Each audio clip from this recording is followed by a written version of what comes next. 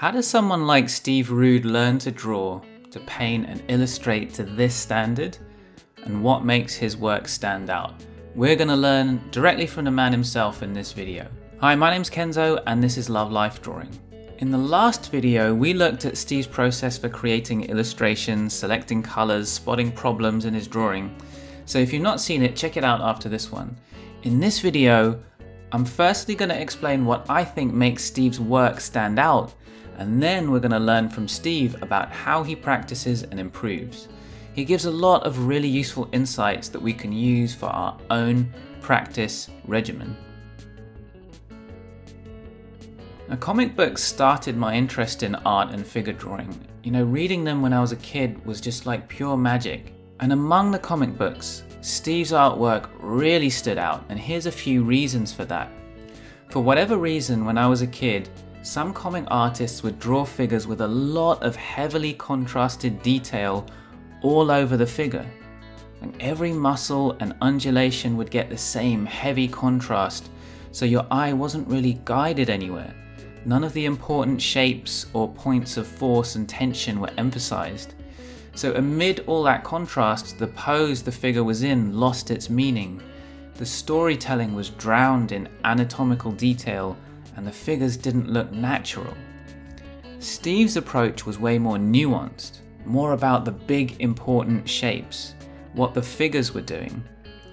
His figures were simpler, and that made the characters more sophisticated and also more human.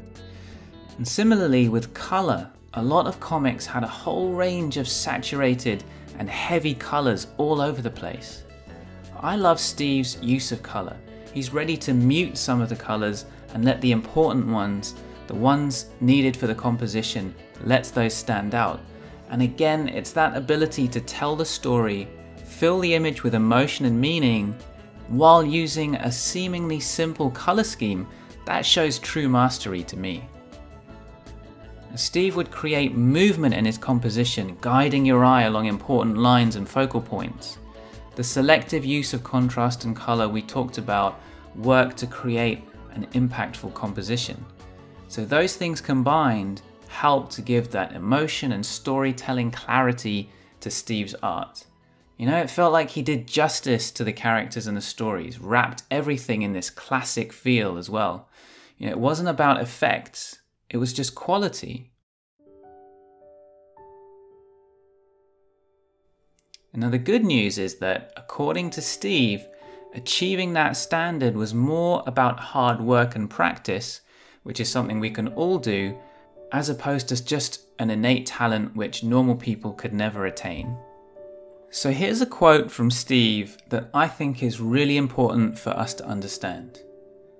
One reason behind the constant and diligent practice is to see if I can take things that are difficult and work at them until they become more automatic or intuitive.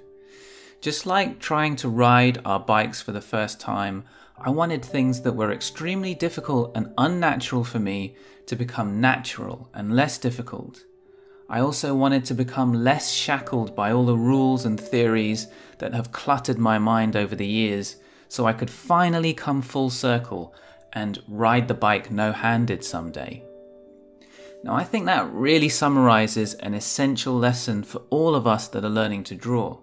All these techniques and bits of knowledge need to become intuitive for us to the extent maybe where we can't remember what it's like to not be able to see and do those things. Constructing things from basic forms, anatomy, color, once you have these skills built in, you're free to express yourself how you please and that's a powerful place to be. So, let's see how Steve took these technical and complex elements of drawing and made them intuitive. He has three primary ways that he learns from studying his favorite artists, practicing things in his sketchbooks, and taking classes with good teachers. And I'm talking present tense because for him, those learning processes are never finished. He said he started learning from his favourite artists when he was 16 and continues to study them now at 61. And you can see the influence of legendary artists like Andrew Loomis and Jack Kirby in his work. He continues to fill up sketchbooks with imagination and reference studies. He's got a library of books and folders of references about all sorts of things that the world has to offer, and he's continually picking out things to copy in his sketchbooks. He said everything from the human foot to a horse's nostrils.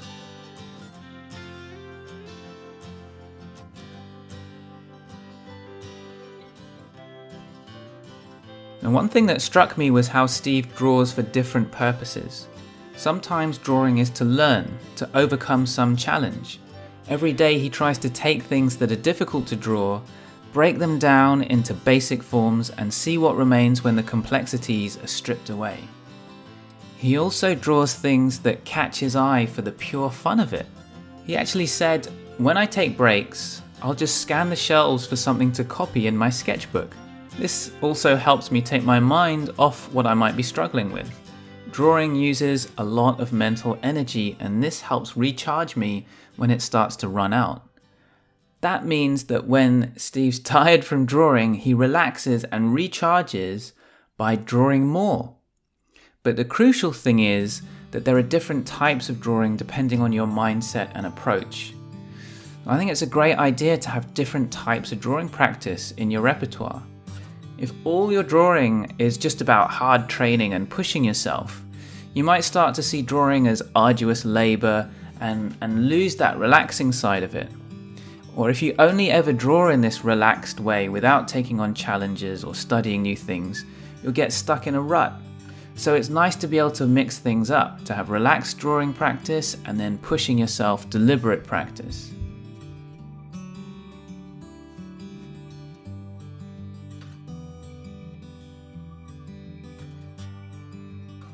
Now, despite being a respected and award winning artist for decades, Steve has a daily practice regimen.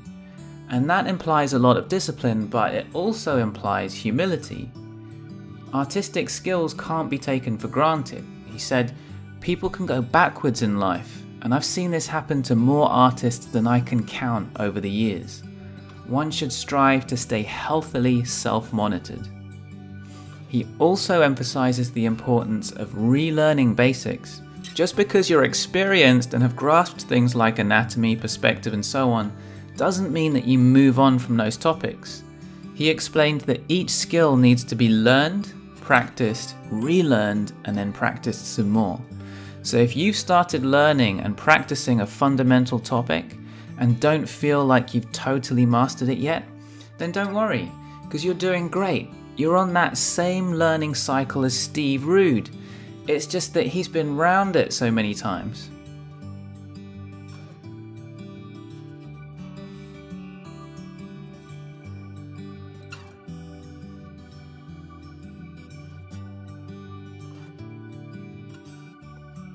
Now, another thing worth noting about his continued learning is that he continues to find both learning and joy in life drawing sessions with life models. He said, You can produce a fairly finished work in an afternoon during these classes. You get the instant fulfillment of doing something that looks fresh and unlabored over. It's just you and the model testing yourself with whatever medium you choose to work in.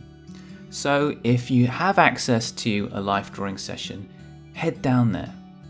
Steve Rude says it's good stuff. You can find the full set of answers from Steve about his art and his skills at lovelifedrawing.com slash Steve And don't forget to check out Steve's Facebook page and website to see more.